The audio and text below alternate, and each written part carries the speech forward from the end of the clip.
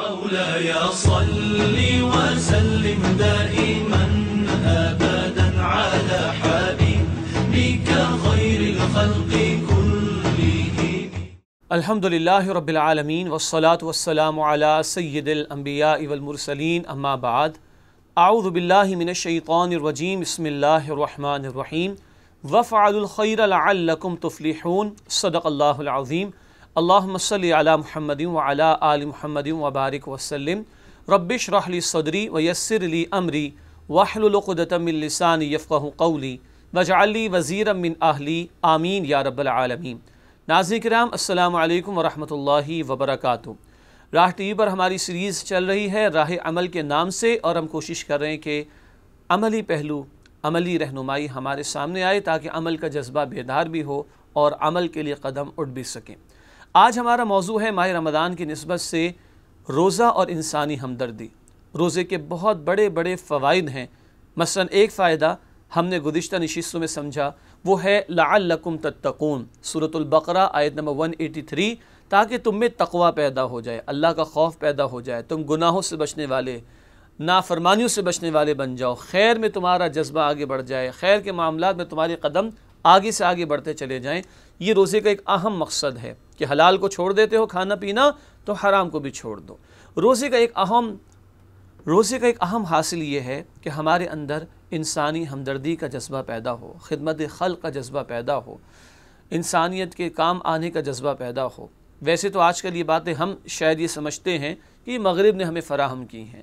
اور اب مغرب کے سوشل ویلفیئر اور کارپوریٹ سوشل رسپانسبلٹی خدمت خلق، خدمت انسانی، ان نعروں سے بڑے مرعوب ہو جاتے ہیں۔ حالانکہ دنیا کو یہ پیغام دینے والے ہم مسلمان اور ہمیں پیغام دینے والا ہمارا دین ہے کہ ہمیں لوگوں کی مخلوق کی بھلائی اور نفع رسانے کی کوشش کرنی چاہیے۔ اس خدمت خلق کی اہمیت کو چند احادیث سے جاننے کی کوشش کرتے ہیں۔ بخاری شریف کی روایت ہے، نبی اکرم صلی اللہ علیہ وسلم نے فرمایا کہ جب تک بندہ اپنے بھائی کی حاجت کو پورا کرنے میں لگا رہتا ہے، تب تک اللہ ایسے بندے کی حاجت کو پورا کرنے میں لگا رہتا ہے۔ سبحان اللہ، اگر ہم چاہتے ہیں کہ اللہ ہماری حاجات کو پورا فرما دے اور اس میں وہ لگ جائے، تو ہمیں چاہیے کہ ہمیں بندوں کے کاموں میں لگنا ہے اور ان کی حاجات کو پورا کرنے کی کوشش کرنی چاہیے۔ بندہ جب تک اپنے بھائی کی مدد میں لگا رہتا ہے، تب تک اللہ ایسے بندے کی مدد کرنے میں لگا رہتا ہے۔ اسی طرح اللہ کے نبی صلی اللہ علیہ وسلم نے فرمایا، خیر الناس من ينفع الناس۔ جامع ترمیزی میں بھی روایت ہے، لوگوں میں سے بہترین وہ ہے جو سب سے بڑھ کر لوگوں کو نفع پہنچانے والا ہو۔ کہیں بحقی شریف کی روایت میں ذکر آتا ہے، الخلق و عیال اللہ۔ یہ ساری مخلوق اللہ کا کنبہ ہے اور اللہ کو اس مخلوق میں سے سب سے زیادہ پسند وہ ہے جو اللہ کے کنبے، اللہ کی مخلوق کے ساتھ بھلا سلوک کرنے والا ہو۔ تو ہمیں مغرب سے اور دنیا پرستوں سے خدمتی خلق کے تصور کو سمجھنے کی قطعاً ضرورت نہیں، یہ ہمارے دین کی تعلیم ہے۔ ہمارے رسول صلی اللہ علیہ وسلم کو اللہ نے رحمت للعالمین بنا کر بھیجا۔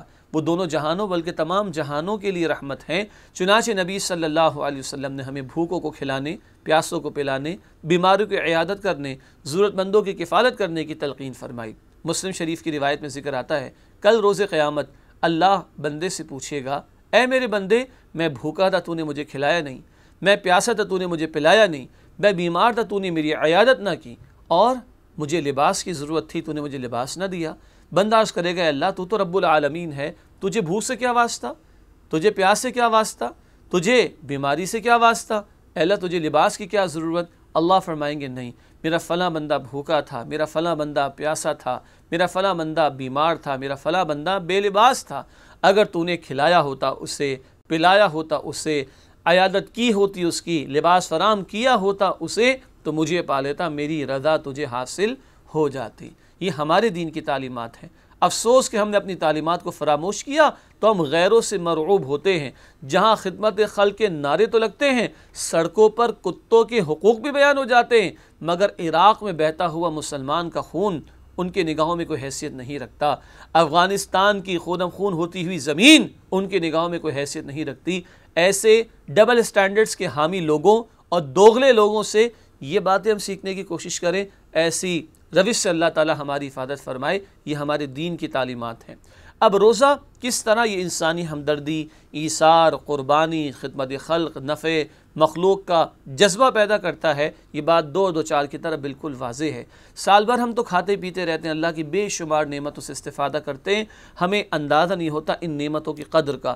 جب ہم بھوک اور پیاس سے گزرتے ہیں، تو ایک طرف ان نعمتوں کی قدر و قیمت کا ہمیں اندازہ ہوتا ہے۔ شدید پیاس کے بعد، پندرہ پندرہ گھنٹے کے روزے کے بعد، جب گرمی میں ٹھنڈے پانی کا گلاس ہم اپنے لبوں پر لگاتے ہیں، تو روئیں روئیں سے شکر ادا ہوتا ہے۔ ایسی صورت میں ان نعمتوں کی قدر و قیمت بھی معلوم ہوتی۔ ساتھ اس سے بڑھ کر یہ اندازہ ہوتا ہے کہ بھوک انسان کو کس طرح ستاتی ہے۔ پیاس انسان کو کس طرح پریشان کرتی۔ یوں ہمارے دل میں بھوکوں اور پیاسوں کی بھوک اور پیاس اور دیگر حاجات اور ضروریات کا احساس پیدا ہوتا ہے۔ ورنہ سال بھر یہ احساس ہمیں ہوتا نہیں ہے۔ اور جب ماہ رمضان میں ہم ایک مشقت سے گزرتے ہیں روزے کی تب ہمیں دوسروں کی بھوک اور پیاس اور دیگر ضروریات کا احساس ہوتا ہے۔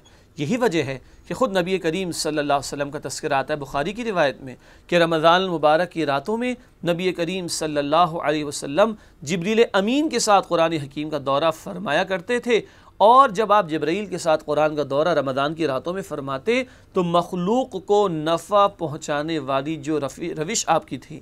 مخلوق کو نفع پہنچانے والی جو کیفیت آپ کی تھی صلی اللہ علیہ وسلم، اس میں تیز رفتاری کے ساتھ چلنے والی آندھی کی سی تیزی آ جاتی تھی۔ آپ تو رحمت اللہ عالمین پورا سال ہی آپ صلی اللہ علیہ وسلم مخلوق کی نفع رسانے کی کوشش کرتے، مگر ماہ رمضان میں اس روش اور صفت میں تیز رفتاری کے ساتھ چلنے والی آندھی کی طرح کی تیزی آ جائے کرتی تھی۔ یہی مجھ سے اور آپ سے مطلوب ہے۔ یہی تو وجہ ہے کہ روزہ افطار کرانے کا اجر و ثواب بھی بیان کر دیا گیا تاکہ ہمارے دل میں ذوق و شوق بھی پیدا ہو اور یہ بھوک اور پیاس ہمیں دوسروں کی حاجات کا احساس دلائے۔ کوئی تو وجہ ہے کہ مسلم معاشروں میں جتنا زکوٰۃ کی ادائیگی کا معاملہ اور انفاق فی سبیل اللہ کی ادائیگی کا معاملہ ماہ رمضان المبارک میں ہوتا ہے، اس کی مثال بقیہ گیارہ مہینوں میں پیش نہیں کی جا سکتی۔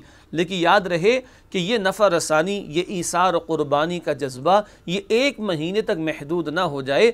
ایک مہینہ تو تربیت کا مہینہ ٹریننگ کا پیریڈ ہے۔ اس کی امپلیمنٹیشن اس کے اثرات اس ماہ مبارک کے بعد بھی نکلنے چاہیے مگر ایک مہینہ بھرپور محنت و مشقت سے اللہ سبحانہ و تعالی ہمیں گزارتا ہے تاکہ ہمیں لوگوں کی حاجات کا علم ہو۔ آپ کے علم میں ہوگا، اس پاکستان میں تقریباً ساٹھ فیصد آبادی غربت کی سطح یا اس سے نیچے زندگی بسر کر رہی ہے۔ ہزاروں لاکھوں لوگ کراچی جیسے بڑے شہر میں بھی بھوکے سوتے ہیں رات کو۔ ہماری ذمہ داری بنتی ہے کہ جو ہمارے بس میں ہو، ہم ان تک پہنچانے کی کوشش کریں، ان کی مدد کی کوشش کریں۔ یہ خدمت خلق کا درس اللہ کے دین نے ہمیں دیا۔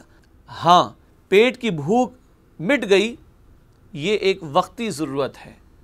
ایک بہت بڑی ضرورت اس سے بڑھ کر ہے، وہ ہے آخرت کی ضرورت۔ اللہ کے رسول صلی اللہ علیہ وسلم نے جہاں بھوکوں کو کھانا کھلایا اور اس کی ترغیب دلائی، وہیں اللہ کا پیغام بندوں تک پہنچایا۔ یہ سب سے بڑی خدمت خلق ہے کہ لوگوں کو اللہ سے جوڑنے کی کوشش کی جائے، اللہ کے دین سے جوڑنے کی کوشش کی جائے، ان کو فکر آخرت کی طرف لایا جائے تاکہ وہ اپنے مقصد زندگی یعنی عبادت کو سمجھ کر اپنی ہمیشہ کی زندگی یعنی آخرت کی تیاری کر سکیں۔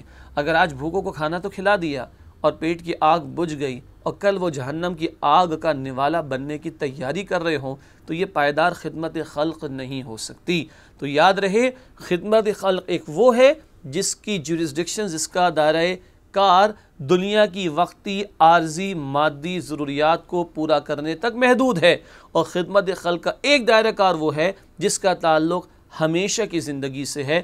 نبی کریم صلی اللہ علیہ وسلم نے فرمایا، بخاری شریف کی روایت ہے، لوگوں تمہارا حال یہ ہے کہ تم جہنم کی آگ میں گرے جا رہے ہو، گرے جا رہے ہو، اور میرا معاملہ یہ ہے کہ تمہیں پکڑ کر کمر سے کھینچ کر میں بچانے کی کوشش کر رہا ہوں۔ تو روزے کا حاصل، دوسروں کی حاجات کو محسوس کرنا اور ان کے کام آنے کی کوشش کرنا، ان کی خدمت کرنے کی کوشش کرنا۔ مگر خدمت خلق ایک وقتی دنیاوی زندگی کی حاجات میں وہ بھی کرنا چاہیے۔ اور اس سے بڑھ کر آخرت کے حوالے سے لوگوں کو اللہ کی طرف متوجہ کرنا، اللہ سے جوڑنا، یہ پائیدار ترین خدمت خلق ہے۔ اللہ سے دعا ہے کہ اللہ ہمارے روزوں اور دیگر عبادات کو بھی قبول فرمائے اور اپنی مخلوق کی خدمت کرنے کی پائیدار بنیادوں پر توفیق عطا فرمائے۔ آمین یا رب العالمین۔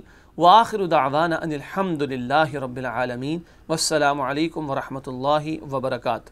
مولاي صل وسلم دائما ابدا على حبيبك خير الخلق.